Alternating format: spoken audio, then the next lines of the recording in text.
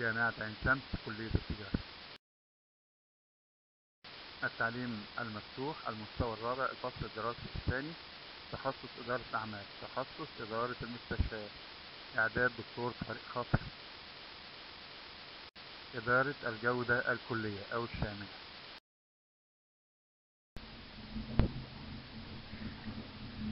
الفصل الثاني بيتكلم عن البيئة الداخلية وثقافة المنظمة. البيئة الداخلية وثقافة المنظمة.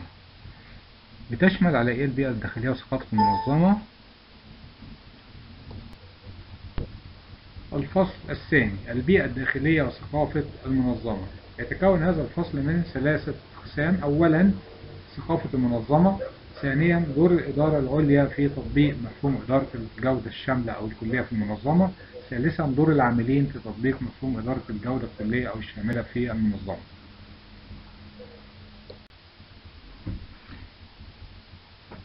أول جزء هنتكلم عليه اللي هو أولا في البيئة الداخلية وثقافة المنظمة هي ثقافة المنظمة.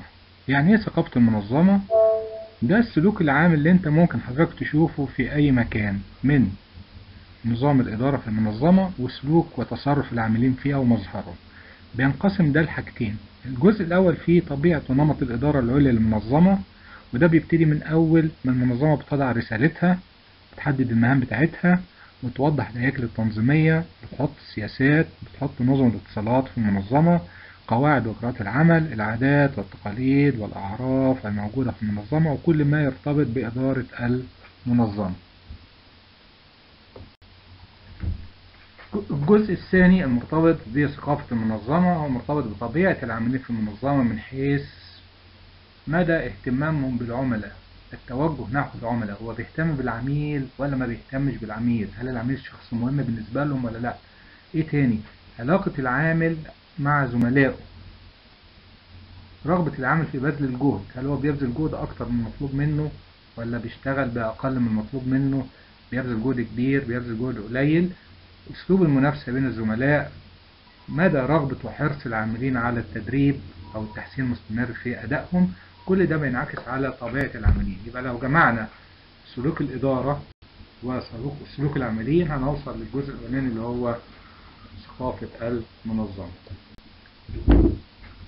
المصادر التي تستمد منها ثقافة المنظمة. الثقافة الموجودة الحالية للمنظمة بتتأثر أو جاية من عدة مصادر أولها وأهمها فلسفة ورغبة أصحاب المنظمة أو إدارة المنظمة. إيه تاني؟ المجتمع اللي المنظمة موجودة فيه. ليه؟ لأن الإداريين والعاملين في المنظمة جايين من المجتمع اللي هم عايشين فيه. طبعا المجتمع ليه ثقافة معينة بتأثر في سلوك العاملين والإدارة وبالتالي ثقافة المنظمة ممكن تتأثر بثقافة المجتمع اللي توجد فيه المنظمة. ثالث حاجة طبيعة الصناعة التي تعمل فيها المنظمة. كل منظمة بتصبغ العاملين فيها بصفة بصيغة معينة مرتبطة بطبيعة الصناعة. يعني هتلاقي العسكريين ليهم تصرفات ونمط معين في الحياة. الأطباء نفس الكلام المدرسين نفس الكلام. يبقى معنى كده الصناعة هنا بتصبغ العاملين فيها بنمط معين بيأثر في سلوكهم. طبيعة السوق كمان اللي المنظمة بتعمل فيه. القصة هنا مرتبطة هو سوق البائع ولا سوق المشتري. سوق البائع البائع هو الأقوى. ليه البائع هو الأقوى؟ لأن الكمية المعروضة في السوق أقل من الطلب وبالتالي أنا مش محتاج كبائع أقدم تنازلات للعملاء أما العكس بقى سوق المشتري والمشتري هو الأقوى لأن الكمية اللي موجودة في السوق أكبر بكتير من الطلب وبالتالي لازم أنا أحاول أكسب ثقة العميل وأقدم له تنازلات. يعني معنى كده أن طبيعة السوق بتنعكس أو بتؤثر في سلوك العاملين في المنظمة. بيضاف لها كمان التطور التاريخي للمنظمة وعاداتها وتقاليدها وكمان الخصائص الديموغرافية للعاملين فيها من حيث هم سنهم قد إيه معظمهم سنه كبير سنه صغير شباب إلى آخره. الجنس جنس العاملين فيه ذكور إناث أو إناث وذكور مع بعض المستوى الاجتماعي والاقتصادي للعاملين ومستوى تعليمهم ده للعاملين وللإداريين الشغالين في المنظمة. لما نيجي نتكلم في تطوير ثقافة المنظمة للمساعدة على تطبيق مفهوم إدارة الجودة الكلية. أولا ثقافة المنظمة الحالية ما ينفعش تطبق فيها أو تطبق معاها إدارة الجودة الكلية وبالتالي أنا مطلوب مني أطور الثقافة دي عشان أساعد على نجاح التطبيق. مطلوب من الإدارة تعمل إيه؟ أول حاجة لازم تدرس وتقيم الثقافة الموجودة حاليا. فيها حاجات جيدة أستفيد منها وأدعمها وفيها حاجات محتاجة تطوير لازم أعمل على تطويرها. بنعمل إيه تاني؟ في كل منظمة في جماعات عمل وأفراد مؤثرين في ثقافة المنظمة وفي سلوك العاملين وده ما يسمى بالتنظيم غير الرسمي. أنا لازم أعرف مين الأفراد دول اللي هم مؤثرين في العاملين وأحاول أقنعهم لأن تأثير الأفراد دول على العاملين أكبر بكتير جدا من تأثير الإدارة على العاملين. كل منظمة فيها مجالات قوة ومجالات ضعف. مجالات القوة ممكن تؤيد تطبيق إدارة الجودة الكلية فلازم أتعرف عليها واستخدمها استخدام جيد. ومجالات الضعف اللي ممكن تعارض أو تعوق تطبيق الجودة الشاملة أو الكلية لازم أعرفها وأبتدي أتعامل معاها وأحسن منها علشان أضمن نجاح أسلوب إدارة الجودة الكلية. أي أسلوب في الدنيا بيتم بدون تمهيد للعاملين هيقابل بالفشل ويقابلوا شائعات إلى آخره. وبالتالي لازم أنا أمهد للعاملين بصورة جيدة جدا وبأسلوب مفهوم ليهم. يعني إيه إدارة الجودة الكلية؟ متطلباتها إيه؟ هتحقق إيه للشركة؟ أنا كعامل مطلوب مني إيه عشان أحققه؟ جهد أكبر تدريب أكتر تغيير في أسلوب العمل. بس كل ده مرتبط بفوائد هتعود للمنظمة فوائد أخرى هتعود ليا أنا كعامل هاخد حوافز أكتر وكمان فوائد هتعود على المجتمع اللي أنا عايش فيه. هي دي الأساليب اللي بتساعدني في تطوير ثقافة المنظمة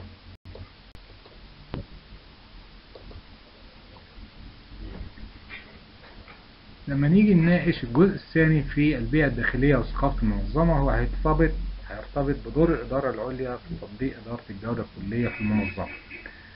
أي عمل في الدنيا لن ينجح إلا بدعم من الإدارة العليا للتطبيق.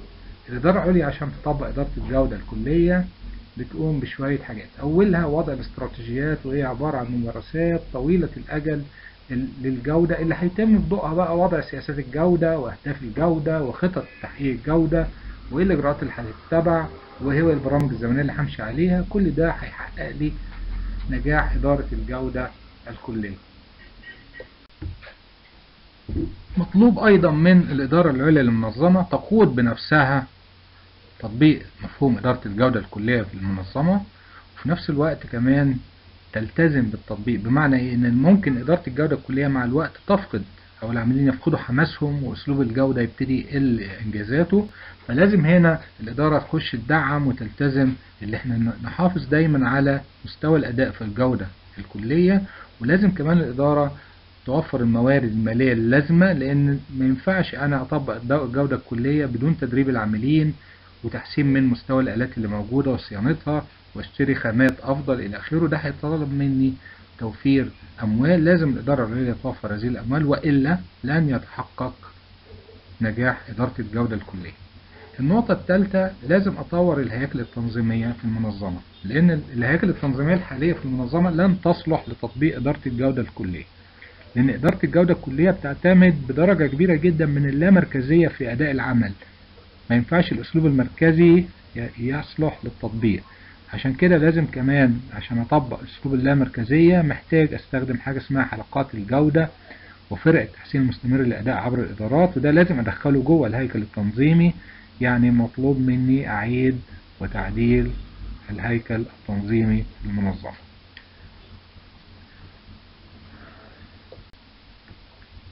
مطلوب أيضا من إدارة المنظمة اللي هي تحسن نظم الاتصال في المنظمة وتدعم وتقوي هذه النظم. لازم نستخدم أدوات اتصال حديثة. لازم نضع أساليب أفضل للتنسيق بين الإدارات. يبقى في اتصالات أفقية في اتصالات رأسية في اتصالات قطرية بين الإدارات والأقسام.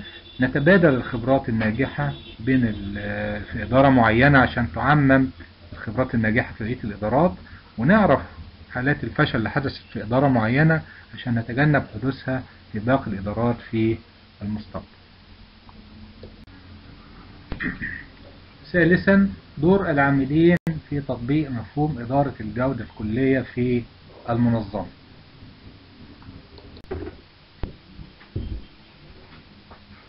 لضمان نجاح تطبيق إدارة الجودة الكلية في المنظمة يجب على إدارة المنظمة العمل على توعية العاملين تغيير سلوكهم واتجاهاتهم نحو تطبيق مفهوم إدارة الجودة الكلية وتحفيزهم وتشجيعهم على ذلك. ويتطلب من العاملين في المنظمة الاتجاه نحو ما يلي. واحد. الاقتناع بأن كل فرد في المنظمة في كل الإدارات وكل الأقسام وفي كل المستويات الإدارية مسؤول عن الجودة وعن رضا العملاء. اثنين. الاقتناع بأهمية التحسين المستمر للأداء وكذلك الاقتناع بأهمية التدريب المستمر. وعلى العامل أن يتعود على الرقابة الذاتية على أدائه ومراقبة العمليات أثناء وبعد الأداء وليس بعد الأداء فقط. ويجب كذلك على العامل الحصول على تغذية مرتدة بالمعلومات عن العملاء الداخليين أو الخارجين له لتعديل أسلوب عمله ليحقق رضا العملاء. كما يجب علينا أن نعتبر أن الأخطاء فرص لتحسين الأداء لأن أي خطأ قد حدث ومع دراسته لن يتكرر هذا الخطأ مرة أخرى. كما يجب أن يتعلم ويتعود العامل على التعاون مع الزملاء وكذلك تشجيعهم على تقديم اقتراحاتهم لحل المشكلات أو تحسين الأداء في المنظمة.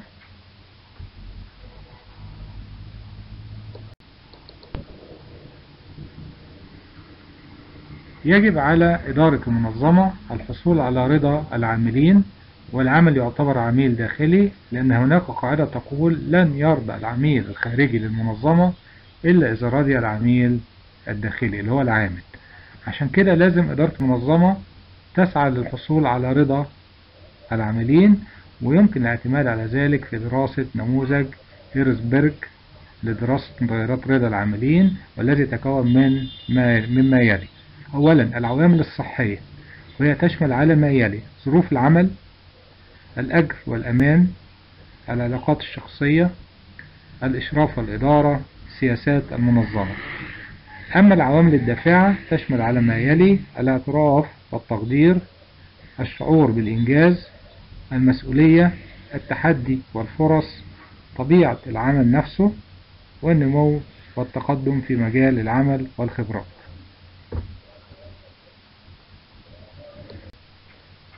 من دراسة نموذج هيرسبرج لدراسة متغيرات رضا العاملين يلاحظ ما يلي. أولا لو العوامل الصحية فقط هي الموجودة بدون العوامل الدافعة نصل إلى مرحلة الحياد بين الرضا وعدم الرضا. أما إذا وجدت العوامل الدافعة فقط يحقق للعامل الرضا المؤقت وليس الدائم.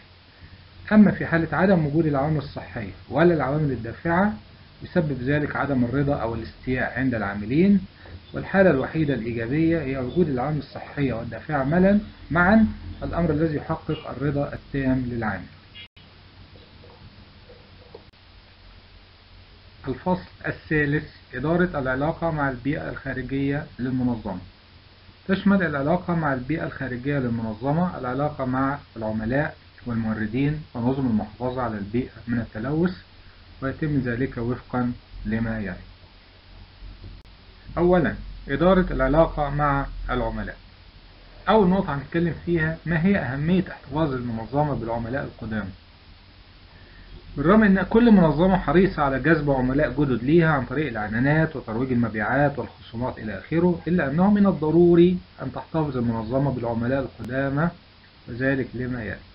أولا العميل القديم يعتبر من أهم مصادر حصول المنظمة على عملاء جدد بالإضافة إلى أن سهولة وسرعة التعامل مع العميل القديم لتعود التعامل معه تكلفة وجهد اكتساب عميل جديد بتساوي تكلفة وجهد ووقت الاحتفاظ بخمس عملاء قدامى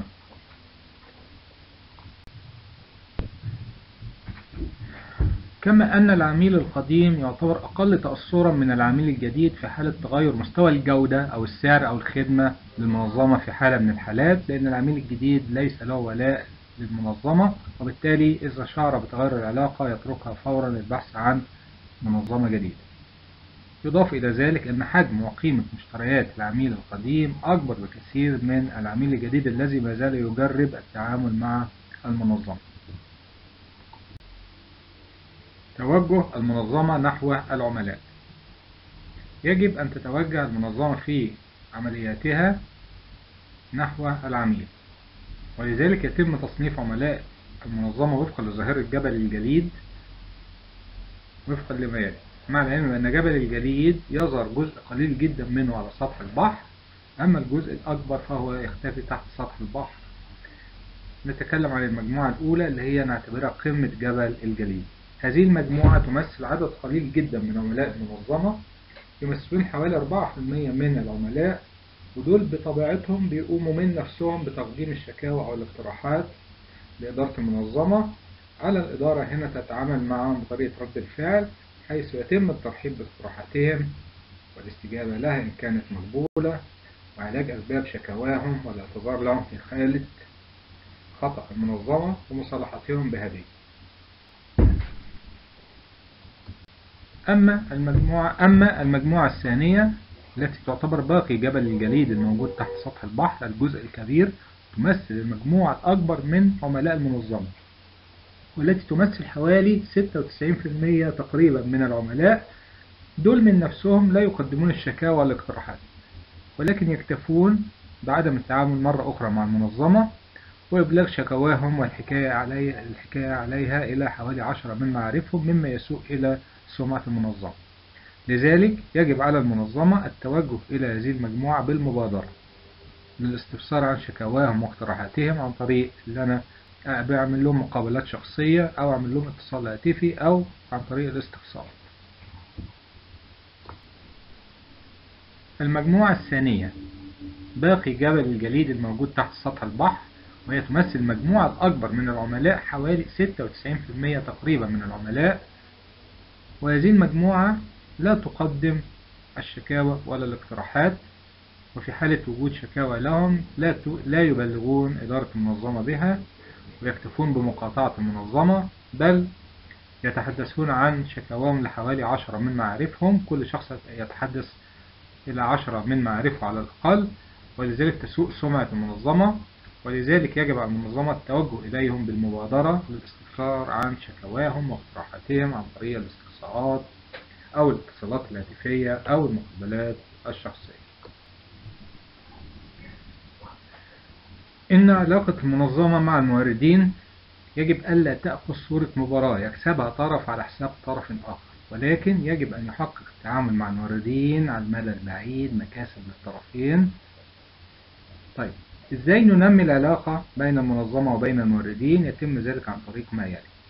أولا تنمية الثقة المتبادلة بين الطرفين ثم ندعم ونقوي نظم الاتصال بين الطرفين لسرعة حل أي مشكلة قد تظهر نتيجة التعامل بينهما وسرعة حل المشكلات لا تزيد من تفاقمها. ثانيا إدارة العلاقة مع الموردين. علاقة المنظمة مع الموردين لا يجب أن تأخذ صورة مباراة يكسبها طرف على حساب طرف آخر ولكن يجب أن يحقق التعامل مع الموردين علاقات جيدة ومكاسب للطرفين على المدى البعيد.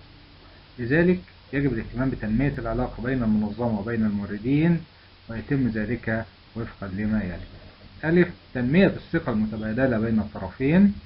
ب دعم نظم الاتصالات بين الطرفين بسرعة حل أي مشكلة قد تظهر أثناء التعامل بينهما. وكما هو معلوم أن سرعة حل المشكلات لا يزيد من تفاقمها. كما يجب زيادة الرعاية المتبادلة بين الطرفين خاصة في أوقات الأزمات بالإضافة إلى التحسين المستمر لشروط التعاقد بين الطرفين نتيجة حسن التعامل بينهما فيما مضى. كما يجب تحقيق الرعاية المتبادلة بين الطرفين خاصة في أوقات الأزمات بالإضافة إلى التحسين المستمر لشروط التعاقد بين الطرفين. ثالثا إدارة العلاقة مع نظم المحافظة على البيئة من التلوث.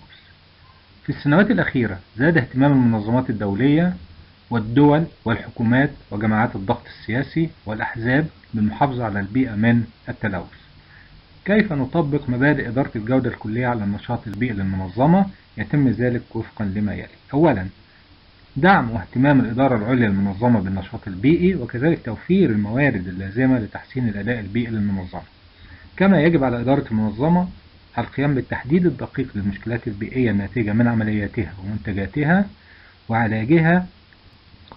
مع وضع نظام لأولويات العلاج لهذه المشكلات لحل المشكلات الأكثر صعوبة ثم التي تليها والتي تليها كما يتم تحفيز الإدارات المميزة في المنظمة في المحافظة على البيئة من التلوث.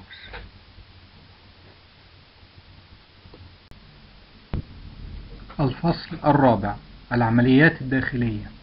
تشمل على عمليات التحسين المستمر للأداء وعلى حساب وخفض تكاليف الجودة. أولا التحسين المستمر للأداء حيث يجب على المنظمة القيام بعمليات تحسين مستوى أدائها بصورة مستمرة لأن ذلك من سنن الحياة ويتم ذلك لتحقيق مركز تنافسي قوي في السوق وللحصول على رضا العملاء وتحقيق متطلباتهم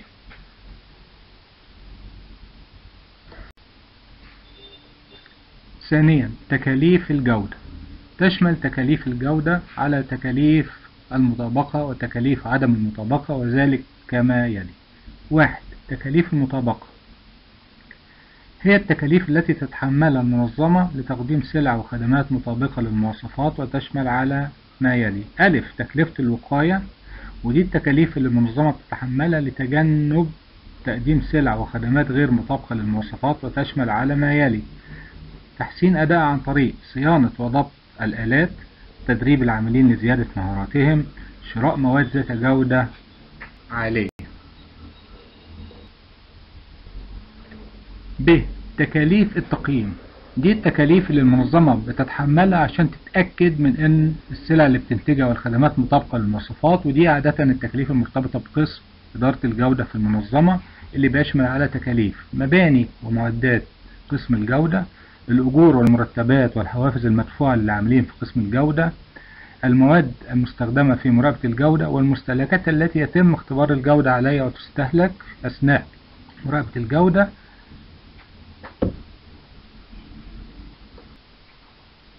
ب تكاليف التقييم. دي التكاليف اللي المنظمة بتتحملها عشان تتأكد من مطابقة السلع والخدمات التي تقدمها مطابقة للمواصفات. ودي عادة التكاليف المرتبطة بقسم مراقبة الجودة في المنظمة وبتشمل على تكاليف مباني ومعدات قسم الجودة أجور ومرتبات وحوافز العاملين في قسم الجودة المواد التي تستخدم في مراقبة الجودة والمنتجات المستهلكة في عملية مراقبة الجودة للتأكد من سلامة باقي المنتجات.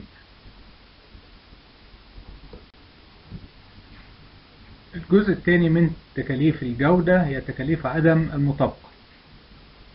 دي التكاليف اللي المنظمة تتحملها نتيجة إنتاج سلع أو خدمات غير مطابقة للمواصفات وبتشمل على نوعين من التكاليف. النوع الأول تكلفة الفشل الداخلي ودي التكلفة اللي المنظمة بتتحملها نتيجة إنتاج سلع غير مطابقة للمواصفات ويتم اكتشاف ذلك داخل المنظمة وبواسطة العاملين في المنظمة قبل بيع هذه السلع للعملاء وبتشمل على ما يلي. تكلفة إصلاح هذه السلع إن كان يصلح ذلك أو إعادة تصنيعها إن أمكن ذلك وممكن يكون ذلك في صناعة المواد البلاستيك أو المعادن. ممكن إعادة تصنيعها أو إعادة تشغيل أو بيع هذه السلع في السوق فرز تاني أو ثالث أو خردة وهنا بنخسر كتير في ثمن البيع. وأحيانا بيتم إتلاف هذه السلع إذا كانت تحمل اسم أو شعار الشركة حتى لا تقع في يد من يسيء إلى الشركة. أو أحيانا السلع دي بتكون ضارة للمستهلك إذا استخدمها فبيتم إعدامها برضك للحفاظ على سلامة المستهلكين. ب تكاليف الفشل الخارجي دي التكاليف اللي المنظمة تتحملها لو باعت للعميل سلعة أو قدمت له خدمة والعميل هو اللي اكتشف العيب في هذه السلع. التكاليف دي بتشمل على ما يلي المنظمة مطلوب منها استدعاء واسترجاع هذه المنتجات المنظمة لإصلاحها أو استبدالها. أحيانا المنظمة بتدفع غرامات وتعويضات إذا حصل إذا حدث ضرر للعملاء نتيجة الاستخدام. والأهم من ذلك فقد سمعة المنظمة في السوق والسمعة لا تقدر بمال. في ملاحظة هامة جدا عندنا إن مع زيادة مستوى الجودة في المنظمة بتزيد تكاليف المطابقة. وبتقل تكاليف عدم المطابقة ولكن بصورة عامة تقل التكلفة الكلية للجودة اللي هي بتشمل حاجتين مع بعض تكلفة المطابقة وتكلفة عدم المطابقة